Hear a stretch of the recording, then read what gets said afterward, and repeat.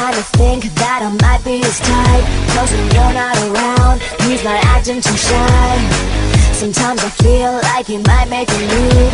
Is this all in my head? I don't know what to do. I know it's strange, I don't know what he's thinking. But is it wrong if I see him this weekend?